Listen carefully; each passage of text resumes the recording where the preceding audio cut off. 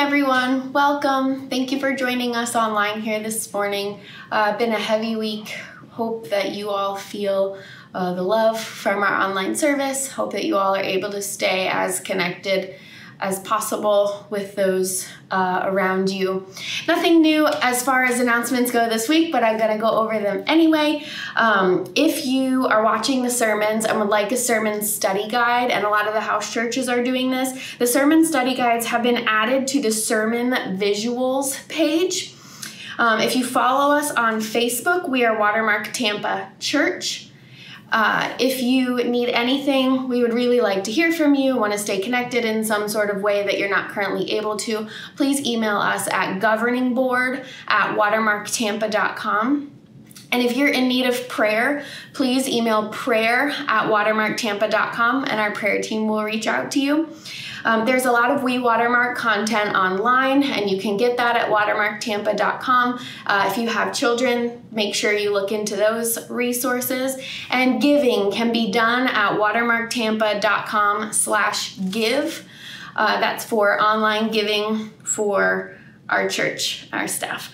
Um, also, the recurring events that we have, we still have Bible for lunch every other Tuesday. Uh, every other Tuesday, Tommy will talk about a different aspect of the Bible from how it was written to different literary devices used. That's every other Tuesday for 45 minutes on Zoom at noon. And then the opposite every other Thursday, church history for lunch. Tommy's talking about, or other, we've had guests maybe on both of them, talking about events or figures in early church history, mostly from the first six centuries. So every other Thursday, the opposite to the every other Tuesdays uh, at noon on Zoom. There's 45 minutes and then there's Q&A time afterwards. We also are still doing a call to prayer every other Wednesday at 8 p.m. So you can join that call, join our prayer team, join other members in our congregation in prayer for our community, our country, our world, our church. Um, and just as a reminder again, if you'd like to reach out to us at governing board at watermarktampa.com, we'd love to hear from you. Thank you, and I hope you have a good rest of your day.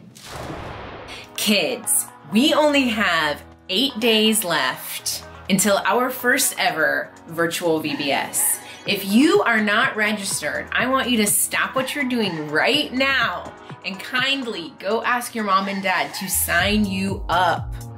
You'll be able to watch VBS every day at whatever time works for you from your computer. We are also making kits for you to do activities at home. There are a lot of fun surprises in store. There's going to be slime. That's all I'm gonna say. That's all I'm gonna say. You need to register watermarktampa.com slash VBS.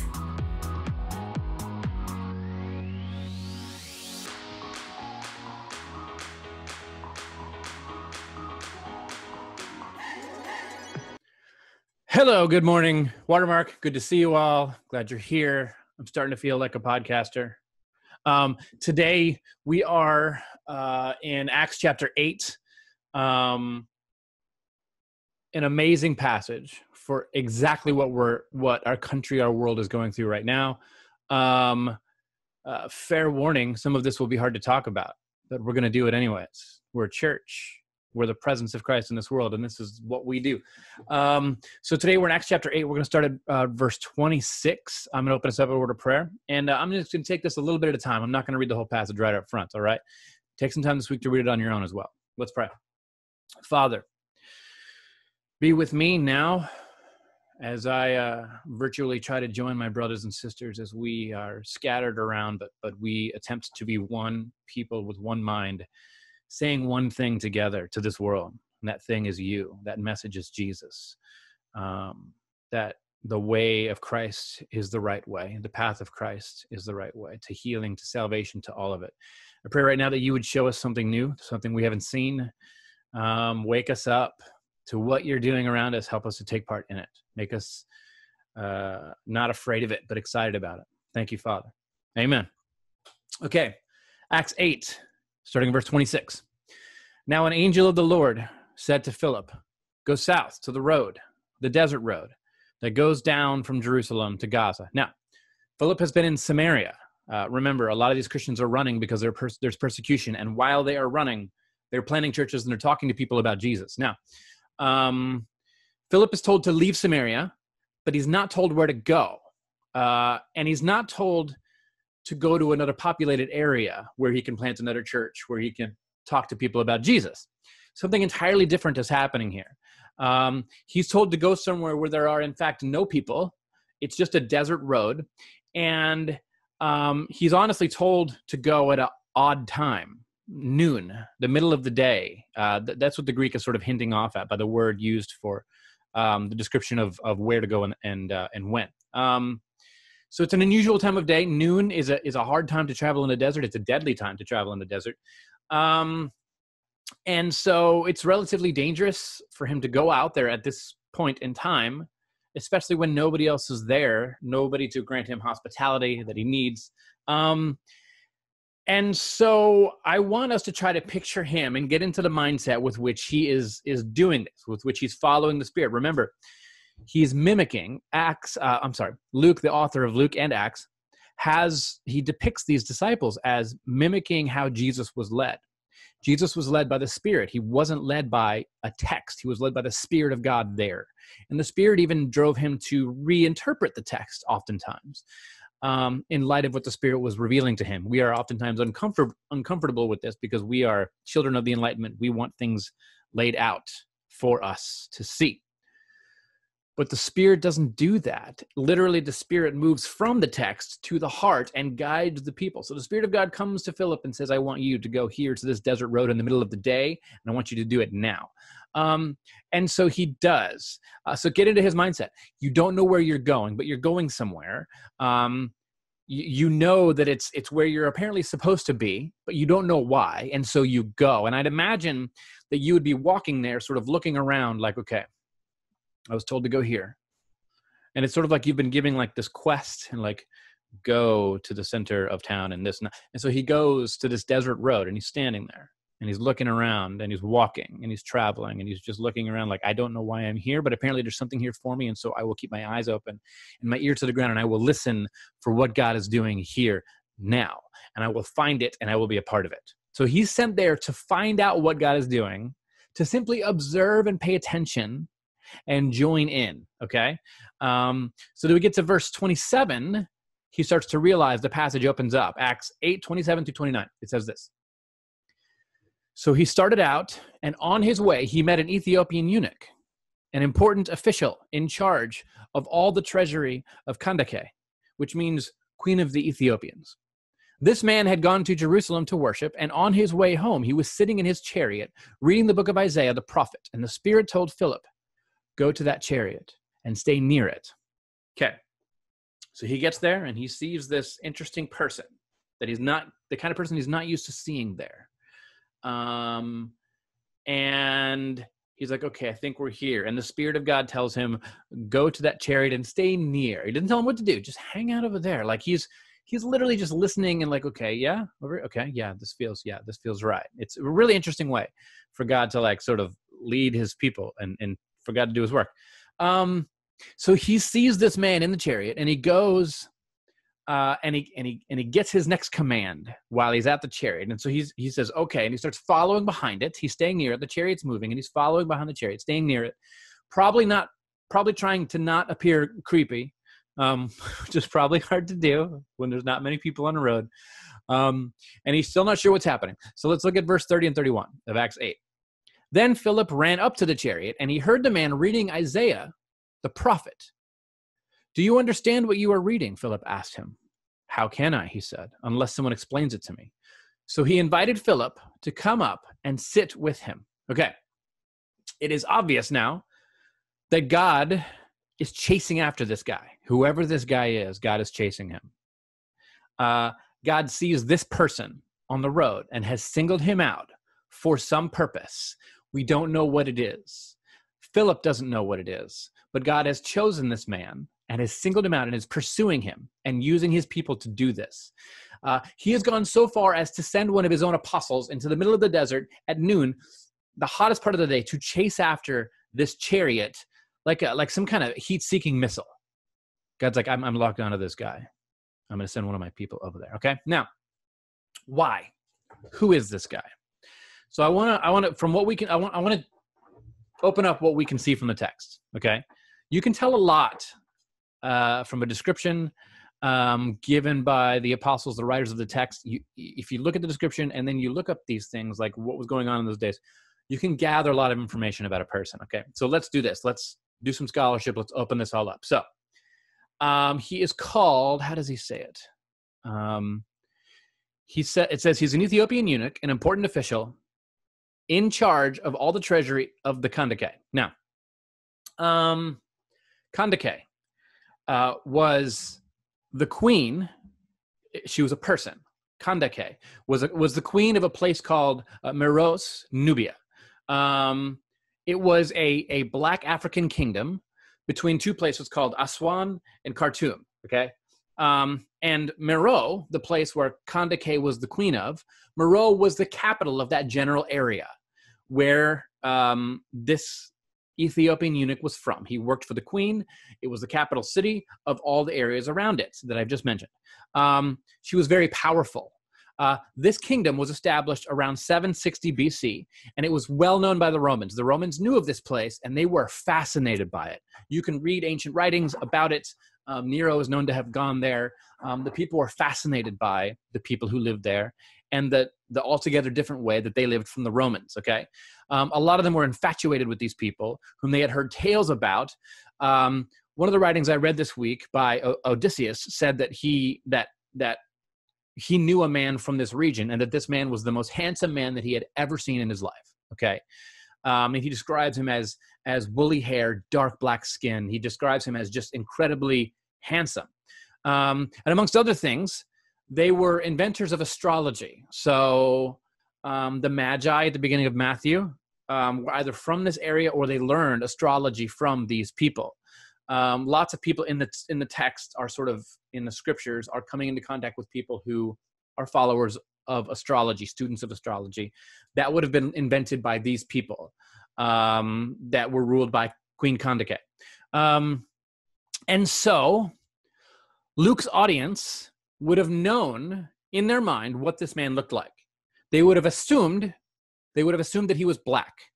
Um, and we have writings that suggest to no surprise whatsoever, okay, this is not going to surprise anyone, but we have ancient writings from this day that suggest that the light skinned rulers of the ancient world treated the dark skinned people worse than they treated the white skinned people.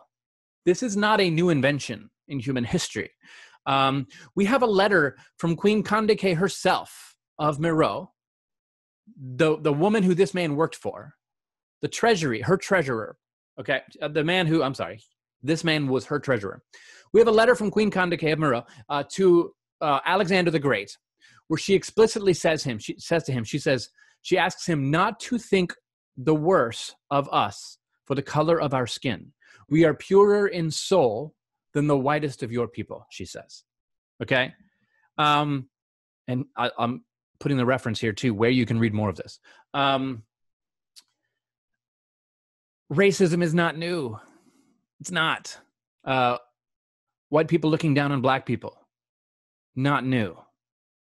All through the text as well, um, all through ancient writings. Um, and the scriptures address it. Okay?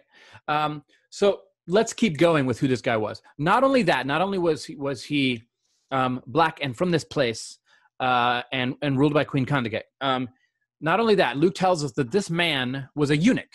Okay? Now, uh, a eunuch uh, the, the word here it basically it can mean several things but it basically is saying that that he is neither fully male nor fully female in the eyes of his day um, he's lacking sexual reproductive organs uh, and this is likely something that uh, chances are this is something that was done to him as a child um, it's possible that he was born this way um, and thus entered into the queen's service. But it's far more likely that this was done to him as a young child, as a baby, that he was chosen. Um, and he was chosen by someone more powerful than himself, that he was mutilated, that he was basically customized, custom made to better serve the position that his powerful people had chosen him for. Okay? Um, And so he was basically taken as a child and customized to serve in specific ways to be a tool in those days he basically he was an, he was the ultimate slave um, he was he was built to be taken advantage of by powerful people um, even sexually but but he was built never to actually experience any pleasure himself if you understand what i'm saying. Um, he was simply a body for use a tool never fully human. Um, he could never be referred to as a man. He would always be referred to as a boy in the eyes of the world in that day. He could never own land. He could never have a voice in politics, in, in the lands in which he lived. Um, those are things that came with manhood, with growing older, and manhood was given basically to those who were of age and able to reproduce sexually. So this this this man, who I will call him a man, he he was not considered one by anyone around him. Um, no matter how old people like him grew, they were never given true manhood. They were always considered boys. Let's pause here for a second because I want to point out something, by the way. Um, a lot of American slavery in our history was modeled on first century Roman slavery, was modeled on the slavery of the first century in that day, especially prominent in the Roman Empire. Um, this is why white men throughout our history as Americans have referred to black men as boy. This is where this comes from. Um, because even at the founding of our country, when only men could vote, um, a black man was never considered a man. Uh, even as an old man, a black man was denied manhood and was always called a boy. Because if you call him a man, then he can own land. He can have a family which is his, which he cannot be pulled away from, which cannot be taken from him. He can have a voice and a vote in an equal spot in society. So as long as we call them boy, they were never really one of us. Um, so if you've ever wondered, by the way, this is a pastoral advice, if you will, if you've ever wondered why it is so racist to call a black man boy, now you know, and you will never make that mistake again. Um, a, this this stuff has been around a long time. Um, let's go a little farther. Let's let's get back into like sort of who this guy was. It also says Luke tells us that he has gone to Jerusalem to worship. That means he was a Jewish convert. This is a huge concept here for this man to be a Jewish con, uh, convert. It it has, theological implications, it has social implications. Uh, it means that God has drawn him in, despite the place that he lives, despite the life that he was forced to live. He wanted to be one of God's people. Somehow he came to faith in Yahweh and in the covenant God made with Israel, whom he is not even a part of. And he wanted to be one of God's people, he wanted to be equal with them. And Luke tells us that he is reading a copy of the book of the prophet Isaiah. This would have been purchased no doubt at great cost to himself. People did not have passages of scripture back then. This man must have bought this for an incredible amount of money. A lot of synagogues in the ancient world didn't have full canons of, of the scriptures of their day. A lot of them were lucky to have one or two scrolls of various texts. Um, only the wealthier ones would, because of great benefactors, would purchase them and give them to them. Um, very few people in the ancient world would have had access to what this man is holding. Uh, a lot of towns were lucky lucky to, to ever possess one or two copies. Um, and lastly, the thing that we can see is that he's heading back from the temple. So he has embarked on a pilgrimage to the temple and is heading back home. He's come from his homeland to go to the temple. This is a spiritual pilgrimage for him. Maybe this was the only time he ever did this. Maybe he did this every year. We don't know. It is highly unlikely that his pilgrimage would have actually ended well, though. And here's how we know this. Like, he, he would have gone there and not been allowed in. Here's how we know. He was not Jewish by blood, so he would have been kept out of the inner courts. Not only that, um, there's passages like Deuteronomy 23 1 um, which says, uh, "Let no one who has been emasculated by cutting or crushing enter into the assembly to worship." And there's different versions of this that will say describe the same thing in different ways. Um, that if a man uh, if a man's reproductive organs have been cut off or damaged in any way, he was not allowed into the temple. Um, he was not allowed to worship with the people. Okay, that that is one of the descriptions that we are given uh, for various reasons. I, I don't have time to go into all that this morning. Um, and so, what I'm saying is basically, this man would have traveled from Roman, traveled into Roman territory from his homeland a very long ways. Where, as a as a black Jewish convert, he would have been treated as an outcast. He would have spent a lot of money to make this trip. He spent a lot of money on this text, and he apparently has done this all by himself. He's alone. And he gets there and he would have been rejected by God's people and not been allowed into the assembly. And so now we find him after this whole episode traveling back alone while studying the text. His hope is still with him that he can be included, that he can be seen as equal. His hope is still with him and he's, he's in the chariot and he's riding and he's reading the text. And here's the thing no one should be left alone with the text. That's not how the text works. The text is meant to be read communally, it is meant to be performed out loud with your body, not just read. Excuse me. And so, here is the part where we see that God has singled this man out. And now, with a lot more background, maybe we can possibly begin to see why. This man is hopeful and he is devoted and he wants to be an equal with his brothers and sisters of Yahweh. And God has singled him out for Philip to be sent to because God will not allow him to be alone with the text. God sees someone like this alone with the text and refuses to leave him like that.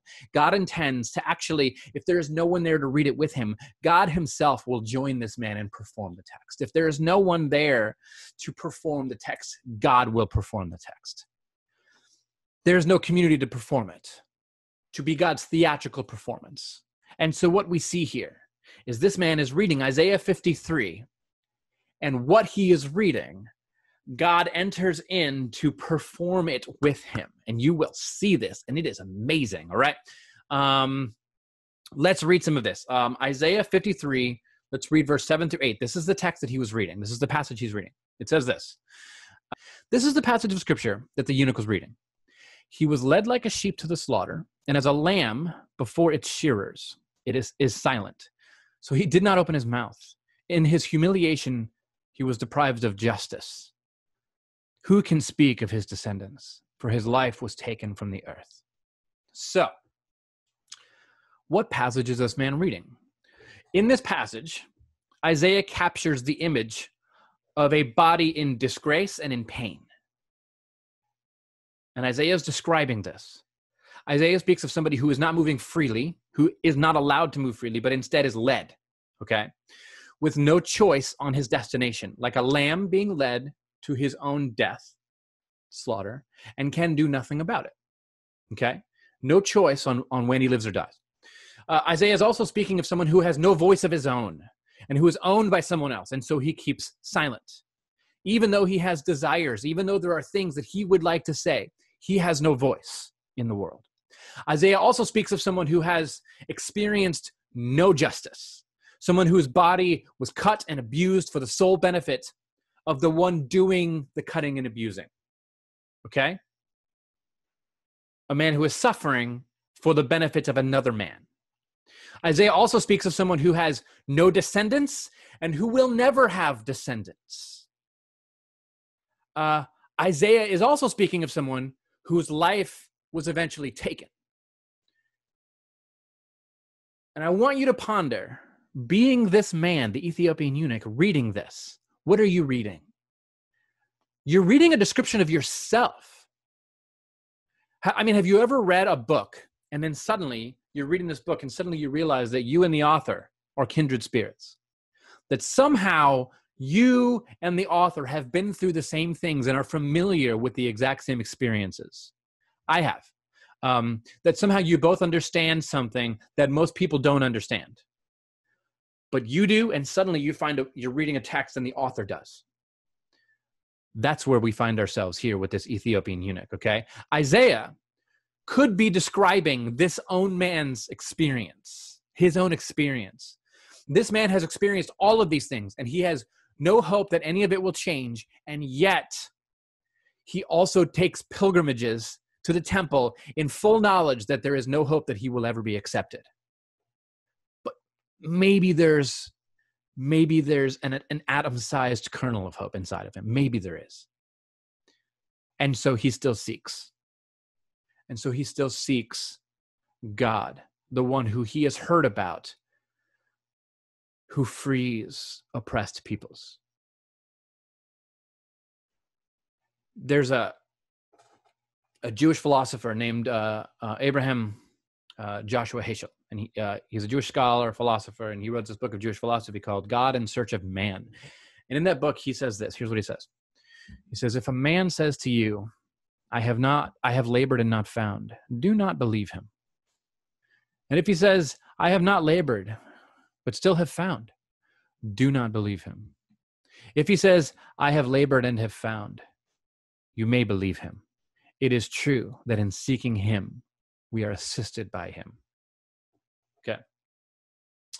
He says, when we seek God, we are assisted in the seeking. It is a joint effort. Um, this man continues to seek God, and suddenly he finds himself in God's story, but not just in the text that he's reading, but suddenly, this text that he is reading, that he sees himself in, suddenly it becomes real life. Um, let's read now Acts 8 30 and 31. It says this. Then Philip ran up to the chariot and he heard the man reading Isaiah the prophet. Do you understand what you are reading? Philip asked. How can I, he said, unless someone explains it to me. And so, so he invited Philip to come and sit with him. And so now a miracle is about to happen, okay? Because all this man sees when he reads this story is, is a body of pain and shame, but he's about to see something different. Look at verse 34 and 35. The, the eunuch asked Philip, Tell me, please, who is the prophet talking about? Himself or someone else? And Philip began with that very passage of scripture and told him the good news about Jesus. First off, real quick, why is this man asking this question? Because the story seems to be about himself. And so he has a genuine question about what Isaiah is talking about. Who is this? Who's he talking about?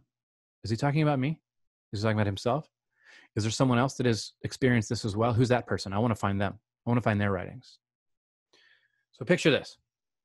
This man goes to Jerusalem in his brokenness and shame because of his race and his status. And he goes there to find God. And he finds nothing. But now, on his way back, he actually finds God in his shame and in his brokenness. You see what I'm saying? He went there in shame and brokenness to find God. And on the way back, he finds God in his shame and brokenness. Do you see what is happening? It's brilliant. God is is bearing what he has borne his entire life. He's now hearing from Philip about the story of Jesus, someone who knows exactly what he has been through. And God is he finds out that God has himself borne exactly what this man has borne his entire life he thought he was reading his own story, but the story that he was actually reading was the story of God. And God transforms this man's life story into God's own story. The man who thought that he was covered in shame and misery now finds that he's covered in the story of Christ. Welcome to the New Testament. It's amazing. Um, now, God has come for this oppressed and suffering black man. That's who God has come for in this story. Oftentimes, you will hear this passage read, and you will hear preachers speak from speaking from a position of privilege and power in this world, like myself. You will hear them talk about the passage in this way. They will say, Do you know why God chose this man? God chose this man because this man was close to power. He was close to the queen. And God himself wanted to get a hold of powerful people. And so God chose this man so that God could save the powerful people.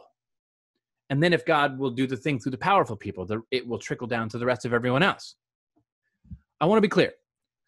When we read the Bible this way, We are doing the same thing that the queen and the oppressors did to this man. We are doing the same things that American slave owners did to people. When we read the Bible this way, when we read about this passage in this way, we are once again making this man a tool, an instrument of evangelization and mission to other places and other people. We are making this man a tool to assist other people. Okay? And we are taking the focus off of what is actually happening here is that God has come for this man precisely in his difference, precisely in the complexities of his life. He is being brought close because his life matters to God. This is not about the queen. This man, his life matters to God. His black life matters to, to no one else in the world but God. And now it matters to the church because God has sent his body there. Are you catching what is happening here? God is not choosing somebody to use as a tool. He's choosing someone as a child, an equal. He's choosing someone to be his image and shedding his body of the image of the useful tool. No more of that. Imagine what it would have been like when he got just a few pages further in Isaiah 53, okay? And this is what would have happened. They would have sat and read the text.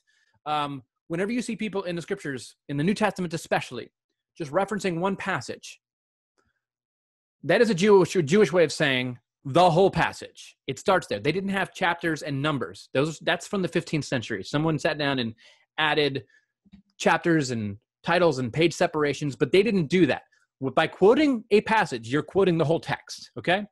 And just a few pages later, later Philip and this black Ethiopian eunuch, here's what they would have read, okay? Pay attention here. Because, um, and imagine being this man reading this.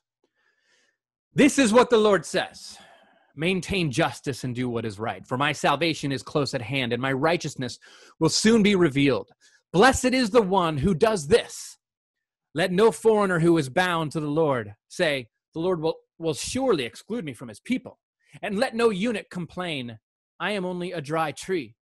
For this is what the Lord says to the eunuchs, to them I will give within my temple and its walls a memorial and a name better than sons and daughters. I will give them an everlasting name that will endure forever. That's talking about children, by the way, a family and foreigners who bind themselves to the Lord to minister to him, to love the name of the Lord, and to be his servants, all who keep the Sabbath without desecrating it, and who hold fast to my covenants. These I will bring to my holy mountain and give them joy in my house of prayer. The holy mountain, by the way, is the temple. I will bring them into my temple and give them joy in my house of prayer. Let's keep going. Their burnt offerings and sacrifices will be acceptable on my altar. For my house will be called a house of prayer for all nations. The sovereign Lord declares, He who gathers the exiles of Israel, I will gather still others to them beside those who those already gathered. Do you see it? And when he, when he hears what he's reading, he goes, Hey, hey, I hope you understand what you're reading. And I hope you understand the weight of it because this is for you. Because what Isaiah is saying is that when God is done with his people, there will be justice and righteousness, and no foreigners will be excluded.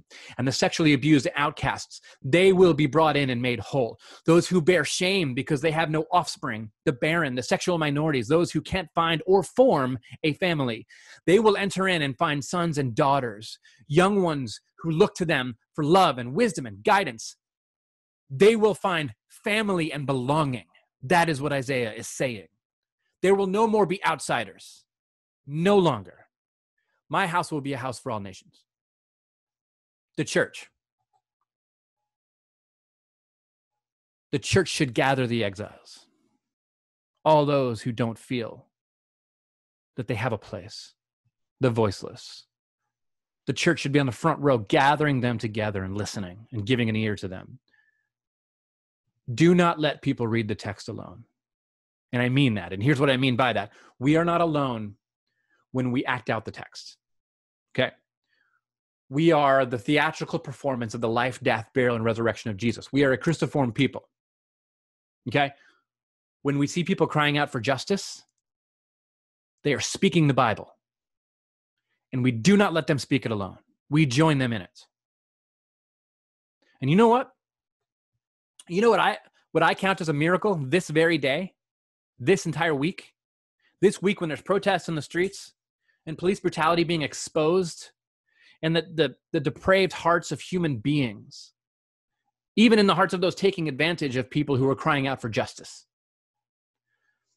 The miracle that I see, what just a, and it's just a, a small one. I don't want to make us the center of anything, but this is a small miracle that God has brought our journey as Watermark Church to this text on this week. We planned on going through Matthew and then Acts years ago. We spent three years in Matthew. We spent a few weeks off, and then we went through Acts. No one sat down and said, "Hey, there's going to be some protests and Black Lives Matter movements uh, in the first week in June." And then when that happens, we'll speak on this text. No, no, no, no, no, no. We've just been moving through the text. And so, what I see, the miracles I see happening here is that God is joining us in our reading just like God joined this Ethiopian man on his on his chariot reading the text, we gather, we are reading the text, and God joins us. And just like when God made it real life there in his day, God is now making it real life in our life as we read this text. God is now joining us in this text by acting this out in the world around us. He has always been present. And as we read this, about an oppressed black man who has no place in society, who has been oppressed and used his entire existence, desiring equality and to be equal with God's people. God guides our, our footsteps and our reading to this text to this very day to open us up and read this to us.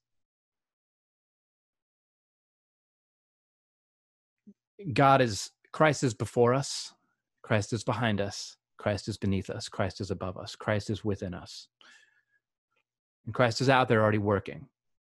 And like Philip, we are being sent out into the streets. And, and what do you do when you get there? You don't know. You don't get to know ahead of time. But you go prayerfully and you listen with eyes of love, looking at the people around you and saying, What is God doing here? What am I looking for? And you take part in it. And that's all you can do. We are people led by the Spirit. The Spirit of God is present within us.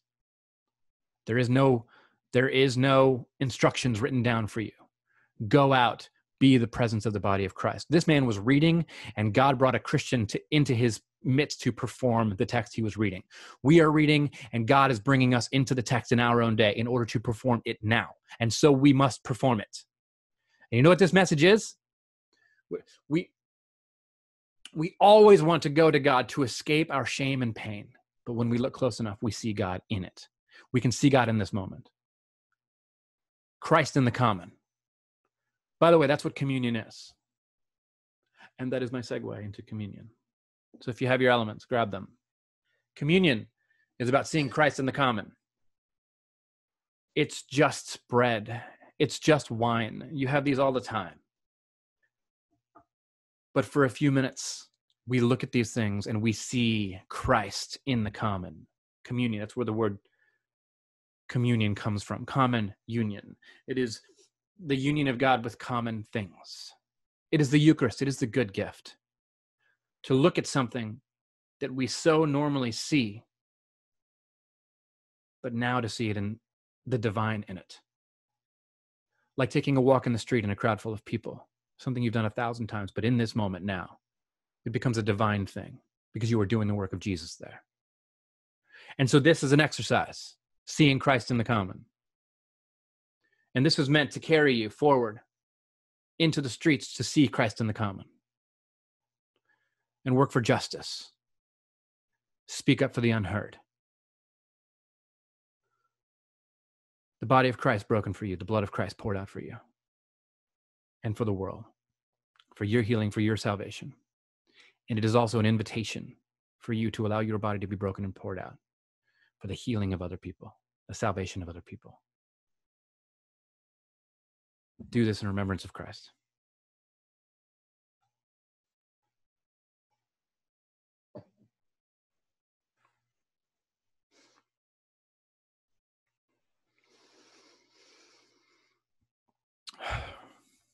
Father, be with us in this time of winter. We look forward to the spring. Help us to take part in it. Let us plant now things that will grow in the future. Help us to be a theatrical performance of your life, your death, your burial, and your resurrection that brings all humanity, humanity back to life with us. In your name, amen. Let's end with our collect prayer, shall we? God, our rock, who shepherds us through the desert, give us patience in the times that we feel lost. Remove our focus from what is gone and remind us of our blessings. Lift us up when we are down. Renew our hearts and minds with your word. Grant us the eyes to see to where your faith is calling us. Bolster our faith. Guide us to our purpose as we become one people, bringing your kingdom to earth. In the name of Jesus. Amen. Grace and peace, Watermark. Have the greatest June of your entire life.